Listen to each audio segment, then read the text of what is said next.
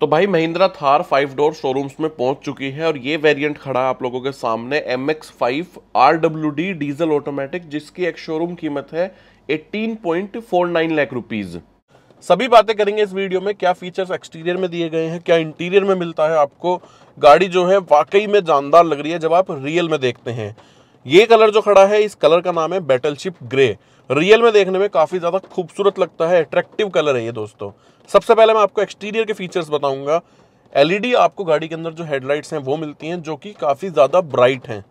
LED ही आपको गाड़ी के अंदर जो डी हैं, वो मिलते हैं, और जो फ्रंट की ग्रिल्स है ना, वो भी काफ़ी बड़े साइज़ की ग्रिल है। काफ़ी ज़्यादा अच्छी लगती है देखने पे, आपका मन भी नहीं करेगा इसको चेंज कराने का। नीचे की साइड आप आएँगे तो बम्पर में यहाँ पे आपको फ्रंट में दो पार्किंग सेंसर्स और फोगलाइट जो है, वो भी इस वेरिएंट के अंदर यहाँ पे मिलती है। इस वेरिएंट के अंदर आपको 18 इंच के जो अलॉय व्हील्स हैं, वो मिलते हैं। 255 बाई 65 आर 18 की प्रोफ़ाइल यहाँ पे दी गई है। चारों ही टायर्स में डिस्क ब्रेक हैं। ये एक बड़ा अपग्रेड है क्योंकि ब्रेकिंग जो है वो और भी ज़्यादा अच्छी हो गई है। फेंडर पे इंडिकेटर है। थार रॉक्स की यहाँ पे ब्रांडिंग करी गई है।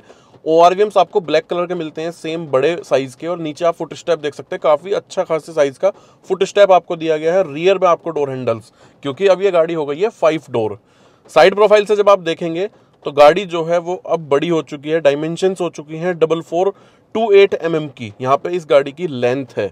अगर मैं बात करूँ इसकी, जब आप साइड से देखते हो तो देखो, इस तरीके की लुक्स आती है। गाड़ी पहले से ज़्यादा लंबी हो चुकी है और कंप्लीट जो गाड़ी की अब लेंथ है, वो बेहतरीन है। विड्थ है गाड़ी की 1870 एम mm की और जो हाइट है, वो है 1923 एम mm व्हील बेस है गाड़ी का 2850 एम mm का। तो ये काफ़ी अच्छा खासा यहाँ पे व्हील बेस है। अप्रोच एंगल है 41.7 डिग्री डिपार्चर एंगल है 36.1 डिग्री प्रॉपर एक फाइव सीटर कार जो है वो यहाँ पे अब ये बन चुकी है। जब आप बैक प्रोफ़ाइल की तरफ़ आएँगे तो यहाँ पे भी देखेंगे, जो स्पेयर व्हील है वो यहाँ पे टेल गेट के ऊपर लगाया गया है, लेकिन इसके अंदर आपको अलॉय व्हील का ऑप्शन नहीं मिलता है। वैसे सेम प्रोफ़ाइल आपको मिलती है और इस पर कवर लगाया गया है। बिल्कुल सेंटर में आपको दिया गया है हाई माउंट स्टॉप लैंप और बैक ग्लास के अंदर आपको डिफोगर वाइपर वॉशर तीनों ऑप्शन मिलते हैं। लेकिन आपको यहाँ पे ओपन करके दिखाता हूँ अभी इसका बूट नीचे पहले आप देखेंगे कि यहाँ पे आपको दो पार्किंग सेंसर्स दिए गए हैं, नीचे रिफ्लेक्टर्स दिए गए हैं और यहीं पे आपको डबल टू सिक्स एम की जो ग्राउंड क्लियरेंस है वो मिलती है। डीजल वेरिएंट है, आपने देखा नीचे डीजल टैंक आपने देखा होगा। पेट्रोल के अंदर यहाँ पे जो टैंक है वो नहीं होता है फ्यूल का। बाकी अगर हम बात करें इसके बूट स्पेस की तो बूट स्पेस जो है गाड़ी के अंदर, वो भी अब काफ़ी अच्छा खासा बूट है यहाँ पे। इसी तरीके से आप बूट ओपन कर सकते हैं। पहले डोर ओपन करेंगे, फिर ग्लास एरिया ओपन करेंगे। 12 वोल्ट का चार्जिंग सॉकेट आपको यहाँ पे मिलता है गाड़ी के अंदर। और जो रियर की सीट है, इनको आप 60 40 स्प्लिट में फोल्ड कर सकते हैं। ये बूट स्पेस है डबल फोर सेवन लीटर का, यानी कि फोर फोर्टी सेवन लीटर्स का बूट है, काफ़ी बड़ा बूट है। और सेम पहले आप ग्लास एरिया बंद करेंगे, फिर टेलगेट को बंद करेंगे, ये इसका क्लोजिंग का एक तरीका है। एलईडी ही यहाँ पे आपको गाड़ी के अंदर जो टेल लाइट्स हैं, वो मिलती हैं। डिज़ाइन वाइज काफ़ी अच्छी लगती हैं देखने में और भले ही इसके अंदर यहाँ पे अलॉय व्हील ना दिया गया हो, लेकिन इस स्टपनी को कवर कर दिया गया है तो वो चीज़ भी अच्छी लगती है देखने में।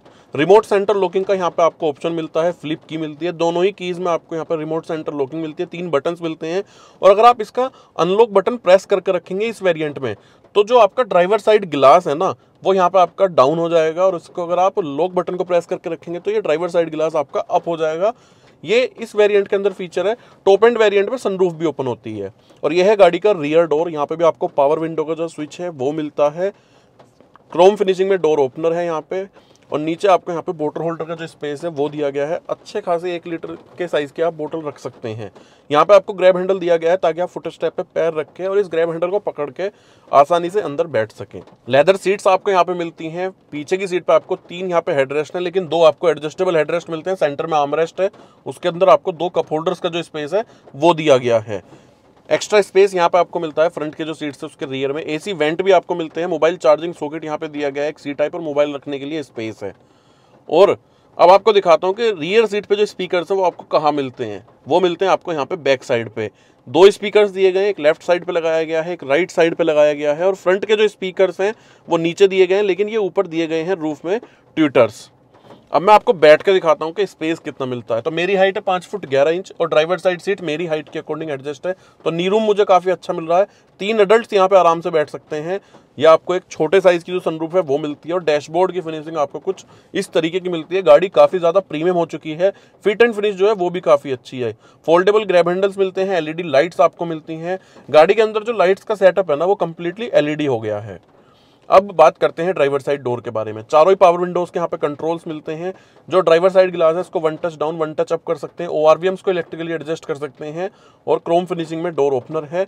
यहाँ पे आपको स्पीकर जो है, वो मिलते हैं। यहाँ पे आपको ट्रैक्शन कंट्रोल ब्राइटनेस कम ज़्यादा hill descent control ideal start stop और फ्यूल लीड ओपन आप यहाँ से कर सकते हैं। एसी वेंट आपको राउंड फिनिशिंग में इंजन स्टार्ट स्टॉप बटन यहाँ पे दिया गया है, जो कि बेस वेरिएंट से ही आने वाला है। मैनुअली आप यहाँ पे ड्राइवर साइड सीट की जो हाइट है, उसको एडजस्ट कर सकते हैं। लेदर सीट्स आपको मिलती है फ्रंट में भी। तो अब आप देखो यहाँ पे एडजस्टेबल हेडरेस्ट दो दिए गए हैं। फ्रंट की जो सीट है, वो ठीक ठाक है। पहले वाली थार के जितनी ही बड़ी है, उससे ज़्यादा बड़ी सीट्स तो ये नहीं है। रियर सीट पे ज़्यादा कंफर्ट है। यहाँ पे भी आपको ग्रैब हैंडल दिया गया है अंदर जाने के लिए। अब हम बैठ चुके हैं सीट पे आके, जो कि ड्राइवर साइड सीट है, और स्टेयरिंग की बात करते हैं। लेदर रैप्ड ये स्टेयरिंग है। लेफ़्ट हैंड साइड पर आपको ऑडियो के controls call connect disconnect right hand side पर आपको यहाँ पे क्रूज कंट्रोल और एमआईडी के कंट्रोल्स मिलते हैं। एमआईडी आपको सेम इस वेरियंट में वही देखने को मिलेगी जो आपकी पुरानी वाली थार में आती थी। और ये जो स्टेयरिंग है, ये आपका टिल्ट एडजस्टेबल स्टेयरिंग है। और ये आपको मिलता है यहाँ पे इंफोटेनमेंट सिस्टम जो कि 10 इंच का एक इंफोटेनमेंट सिस्टम है। रियर कैमरा मिलता है यहाँ पे आपको इसके अंदर और गाइडलाइंस जो है वो भी देख सकते हैं, वो यहाँ पे है। इसके जो रेजोल्यूशन हैं, वो काफ़ी सही है देखने में। यहाँ पे आपको एंड्रॉइड ऑटो एप्पल कारप्ले का ऑप्शन मिलता है। चार स्पीकर्स मिलते हैं, दो ट्विटर मिलते हैं ब्लूटूथ कनेक्टिविटी रेडियो ये सभी फीचर्स जो हैं वो यहाँ पे आपको इस गाड़ी के अंदर इस डिस्प्ले में मिलते हैं। और जो पहली डिस्प्ले थी, वो साइज़ में काफ़ी छोटी थी। तो यहाँ पे ये भी एक अच्छा जो इनका इनिशिएटिव है, वो है एसी वेंट नीचे दिए गए हैं और यहाँ पे दिए गए हैं कंट्रोल्स एसी के। ड्राइव मोड्स आपको गाड़ी के अंदर मिलते हैं। वायरलेस चार्जिंग का ऑप्शन मिलता है।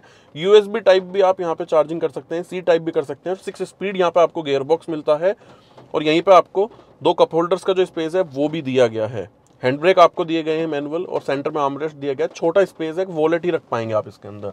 ऑटो डिविंग आईआरवीएम आपको यहाँ पे गाड़ी के अंदर मिलता है। सनग्लास होल्डर है और रूफ में यहाँ पे दो एलईडी लाइट्स जो है, वो मिलती है और यहीं से आप अपनी गाड़ी की सनरूफ जो है, उसको ओपन या क्लोज कर सकते हैं। उसका कंट्रोल दिया गया है, माइक दिया गया है फ़ोन पे बात करने के लिए। तो ये देखिए आप, इस टाइप की सनरूफ है। इसका कर्टेन काफ़ी हैवी बिल्ड के साथ है। और यहाँ पे आपको सिर्फ़ टिकट होल्डर का स्पेस मिलता है को ड्राइवर साइड आपको वैनिटी मिरर मिलता है, लेकिन लाइट जो है वो नहीं मिलती है फोल्डेबल ग्रैब हैंडल लेकिन जो ग्लोब बॉक्स है वो यहाँ पे छोटा ही मिलता है आपको इस वेरियंट के अंदर, जो टॉप एंड वेरियंट है उसके अंदर बड़ा ग्लोब बॉक्स है, यहाँ पे एक ग्रैब हैंडल दिया गया है। हार्ड प्लास्टिक का यूज़ किया गया है, लेकिन जो फिट एंड फिनिश है, जो पैनल गैप्स है, वो देखने को नहीं मिलते हैं। ये जो गाड़ी मैंने आपको दिखाई, ये डीजल में है। इसके अंदर आपको 2.2 लीटर का एम हॉक डीजल इंजन मिलता है, जो कि प्रोड्यूस करता है 150 bhp की power 330 N M torque six speed torque converter gearbox यहाँ पे आपको देखने को मिलता है और ये रियर व्हील ड्राइव गाड़ी है। सेफ्टी की अगर हम बात करें तो यहाँ पे आपको गाड़ी के अंदर जो है एज स्टैंडर्ड सिक्स एयरबैग का ऑप्शन मिलेगा, आपको ABS EBD traction control hill descent control ये सभी फीचर्स मिलने वाले हैं गाड़ी के अंदर। अब बात करते हैं ऑन रोड कीमत के बारे में। इक्कीस लाख पचास हज़ार रुपये के अंदर आपको ये गाड़ी गाजियाबाद, उत्तर प्रदेश के अंदर ऑन रोड कीमत में मिल जाएगी, जो कि काफ़ी सही चीज़ें यहाँ पे इस वेरिएंट के अंदर दी गई है। सबसे ज़्यादा वैल्यू फॉर मनी वेरिएंट ये यहाँ पे है। दोस्तों, मैंने आपको कंप्लीट जानकारी दे दी अगर आपको ये जानकारी पसंद आई है तो चैनल को सब्सक्राइब कीजिए वीडियो को लाइक कीजिए, अपने दोस्तों के साथ शेयर कीजिए। मिलते हैं आपसे किसी और वीडियो में। वीडियो को लास्ट तक देखने के लिए थैंक यू सो मच